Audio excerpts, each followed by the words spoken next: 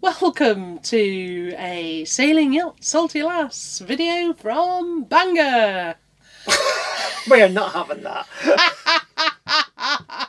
Straight in. Okay, so what's happening? Well, on Salty Lass, the weather's not great. Uh, so we're just finishing off a whole load of little projects. Actually, the weather is fantastic on Salty Lass, but it's pretty ropey outside. That's true enough.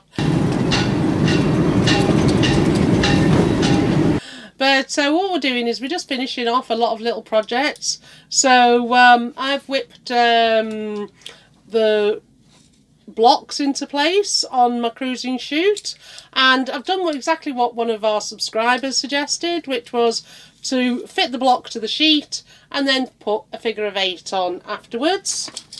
I've also, because this was in This is in the new snuffer, the one we were given the other week.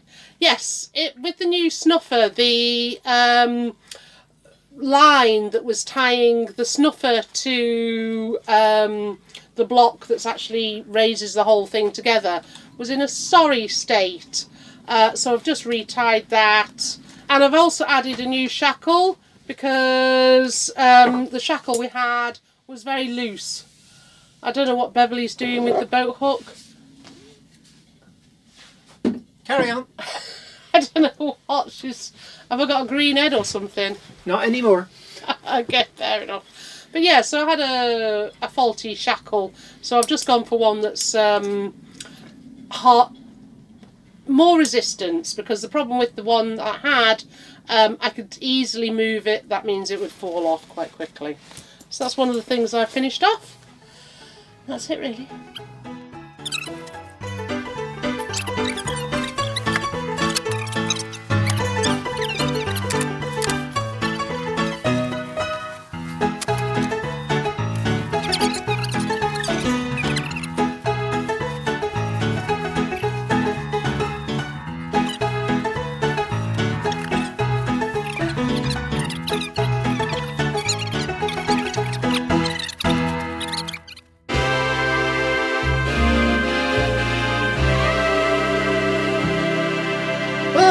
Time for another viewer question of the week. Well, Gaynor has a quick slurp of her coffee.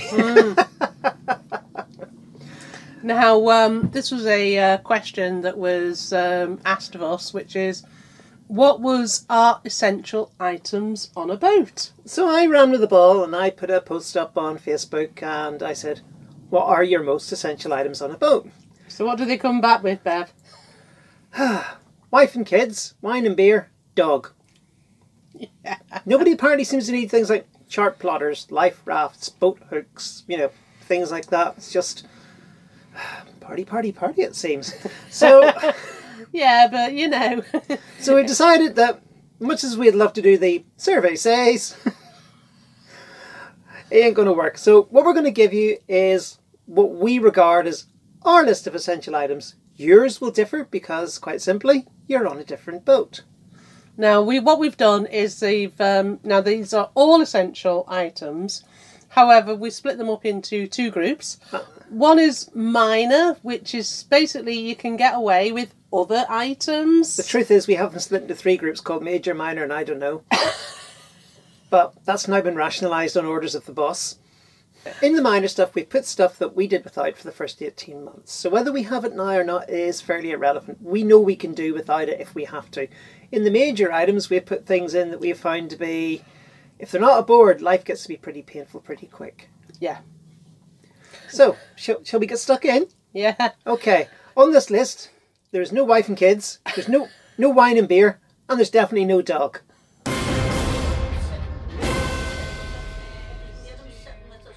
So the first item is the life raft. Uh, this is in the minor category. Right? Uh, so obviously it is essential. Trust me on this. This is an essential item. No, it's only essential if the boat sinks. That is true. If you look after your boat and keep it afloat and don't hit things, then you don't really need a life raft. And loads of people go around without one. Also, if you are have a dinghy like we do, then if all things fail, then you can use the dinghy. And um, Yeah, as long as, long as you're not in the middle of the Atlantic, if you're like five miles offshore, the dinghy makes a perfectly good life raft. An- another thing in the minor category is a good builder's bucket on a rope. Yes. Because, Um, because when you want to clean the decks, you just hang it over the side and grab some seawater. That's so useful. The next one, which is an absolute beaut, might have you scratching your head autopilot. Hmm. You don't need an autopilot. We sailed for 18 months without an autopilot. Many people around this marina have no autopilot. They just go out and they just twiddle around. They use the tiller, they use the wheel. It's nice to have it though. Oh yes, and if you are doing longer cruises, you know, then I really do think it becomes an essential item. It's great. It's great in cold weather. You just turn the autopilot on and say, "Take me that way," and then get back under the spray. Hood. It's really good for that. Thanks a lot for Annie. How you doing, Skipper? Giving it to Annie. You was. I know. Oh, I can't even see the next boy. I can tell you. I think its urgency may go up if you're single handing. Exactly. Um, But if you've got a crew of six, then somebody always wants to be steering. Next on the list is a torch. It's a torch. Now, obviously, if you're doing any nighttime sailing like we do, um, then a sort a torch is pretty essential. The other thing I've used for my torches is finding what's at the bottom of my handbag. But Yeah. that's just me. But if you're but if you're a day sailor, also you don't need a torch because you're in the daylight. If you are going to get a torch, though, uh, I really would recommend that you get one with plenty of lumens. Um, We, we call ours a headlight on a stick because apparently 600 lumens is about the same as a car headlight. So, uh, and it's got a little handle on it and it's rechargeable through the boat's electrics. So that's the kind of torch you need. Uh, we do have a few other torches, like we have ones that are attached to the head, which are quite useful. Oh yeah. Um, because it means that you can be hands free. While we're on the torches, another one you've put in the list, which I find um, not really controversial, but might have some people scratching their heads. A light in the engine compartment. Yes, You like your engine compartment well lit. I do. I do like to see what the heck I'm doing. Yeah, we, we, we sometimes sit here at night drinking wine, we open the engine compartment, turn the light on. no, we don't. No, don't. But It's a good engine, but it doesn't get invited to social days. No, but if you're going to put a light anywhere, having a light in your engine compartment just so that you can see where things are just really helps. Um, all sorts of stuff.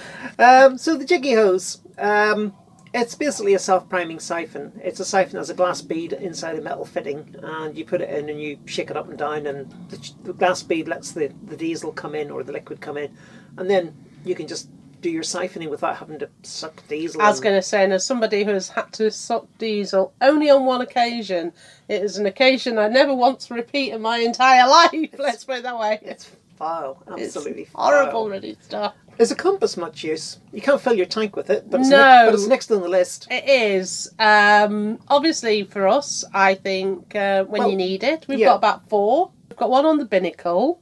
Uh, we've got a handheld compass. We've got one in the binoculars.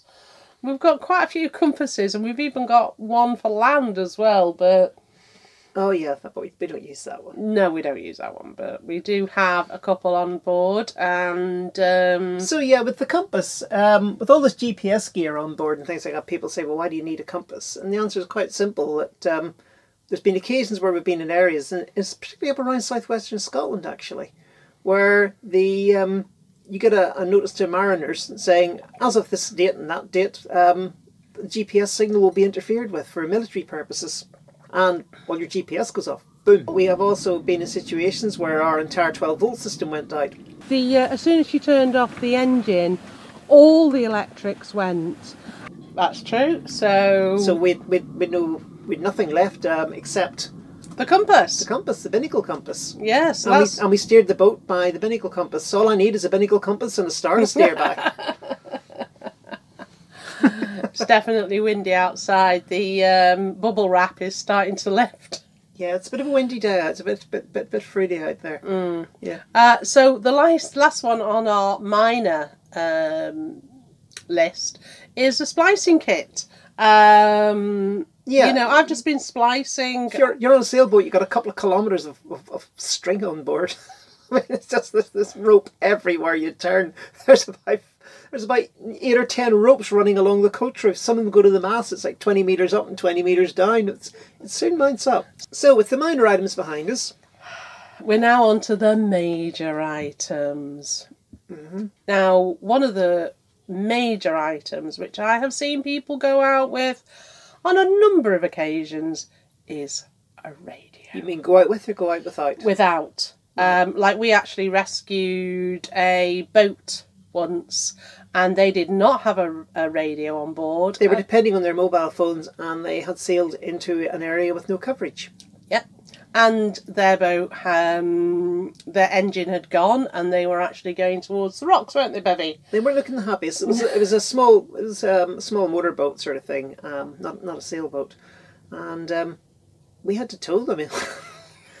you know, But fast fast motorboat gets crewed by sailboat, towed by sailboat. it would have been a great episode. It would have been, but, but the thing is, we always have to ask. they didn't really want to be on camera. But regardless, I do think having a radio on board is essential. And the other thing I would do is on your mobile radio is you can have one that's slightly lower watts, and then there's one that's got higher watts. Hmm.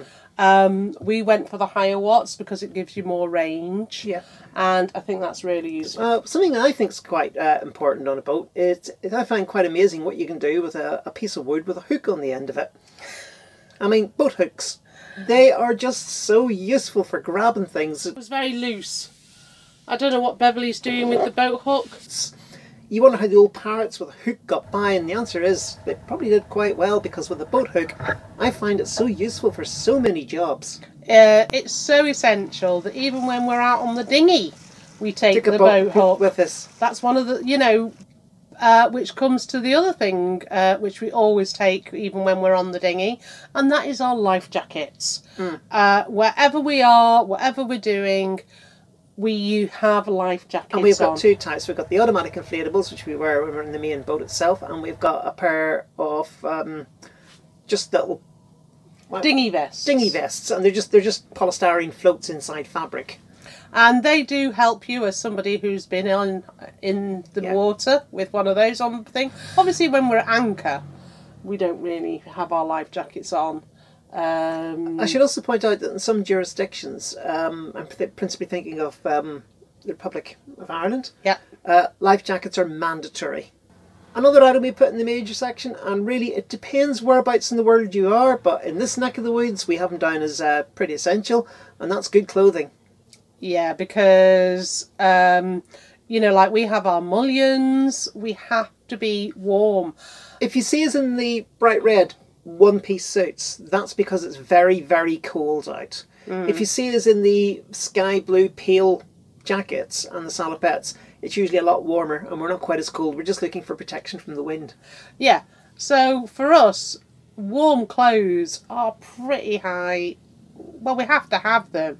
I mean, say, eventually, you never know, we might get to the bathing costume kind of situations. Yeah, we're not there yet, are we? No, we've got at least two, three years before we go anywhere near those kind of latitudes. So, warm clothes is pretty essential. As is water and food. Yeah. Um, One, once again, if you're a day sailor, it's probably not much of an issue, but having something to drink on board is probably always a good idea, whether you're a day sailor or not. Um, especially water because um, the wind will dehydrate you. Yeah. Um, and um, if you don't keep yourself hydrated, um, you can come into all sorts of issues. Even your You go barking mad. exactly. I once had um didn't drink sufficient water, and um, I was actually um, I was I was barking mad. barking mad. I was barking mad. But you know what I mean. I couldn't string a sentence together. Now that's Not much has changed, really. I don't know if we should have said that because the next item on the list is a knife. Yeah. there are so many ropes on your boat that you will need a knife. Now, obviously, we've got a knife in our pocket. We got so, a knife. We got a knife by the door. got a knife by the door. Um, I use the kitchen knife on a regular basis for doing various tasks, you know. But whatever you do, if you do have a knife, for goodness sake, make sure it is sharp. I'm sorry, as far as I am concerned, a knife that is not sharp is It's not a knife. it's not a knife. It's It's a metal thing. oh, that leads us on to. Well, it's not really lead us, but never mind. It doesn't lead us onto it at all. But another item on the list is binoculars. And, um, you know, we would just say for that that we really appreciate the binoculars that have got a little light in, got a compass in. I thought that having binoculars with a compass in was going to be a bit of a gimmick. Um, but having used it, I just find it so useful because I can say to Beverly, it's on a bearing of 220. And if I look down that bearing on the compass and the binoculars, I usually see whatever it is she wants me to look at. Exactly, and that's where it really helps. Um, the other thing that's the binoculars is great for is like if you're coming into a situation, I'm looking at the chart um, and I can see where all the buoyage is, but you need to see that and, and get yourself geared for real life. So, Do you know what I like them for? I like them for reading the pontoon numbers off the end of fingers as you're coming into marinas because when they tell you that you're going to be in Echo 33 and you've got no idea what that is, you get the binoculars up, you can read the numbers off the fingers. Mm. That We've done that more than once. It's really, really useful. we have. Um, we're now on to what I thought of as our third category, but only because it's power tools. And we have done a blog on power tools are a girl's best friend. Friend, we have, with, and we use them all the time. look at that, look at that. Fantastic. Now, you would think that Beverly and I, because we like our power tools, like to do DIY. No, it's actually the reverse. No, I've got so many power tools because I hate doing DIY. I don't want to spend all day doing DIY. I want to get it over with in 10 minutes. And finally, in the really useful things, do not leave port without one vice grips. Yes. God, the number of things I've pulled apart with vice grips. It's untrue. They are so good. They are. They have saved me so many times. It's just absolutely magnificent. Um, Oh, by the way- a few other things. Uh, can we just go back to life jackets for a minute? Oh yes, of course. Oh yes. Because I've got that over there. And this is an arming kit for a United Moulders 33 gram cartridge, which is a very, very common cartridge in UK life jackets. Um, the other week when we checked the life jackets, they were all okay, but I noticed that the cartridges, the, the, the firing cartridges, these things, had about four months left on them.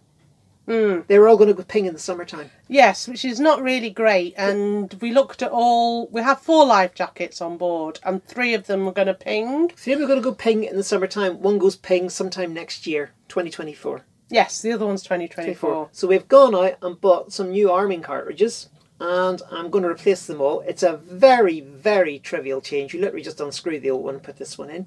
And these are good till 2026. They're £10 each. So for the sake of £10, I'm just going to throw the old ones away because they got a little tablet in here that absorbs water when you go in and then it dissolves and lets the, lets the mechanism move and that's what fires the cartridge. But over time, damp will gradually degrade the tablet and we, ha- we have had one instance where one of these somebody has banged it against something and it was enough to crumble the tablet boom off went the life jacket So put do put your items uh, down in the comments below. What but you not think? but, but not wife and kids yeah, not beer and not the dog but please send all the wine to the address below yeah, but do put your essential items and also keep coming with the um, questions because um, obviously, like at the moment, we were finishing off a lot of little trivial little jobs.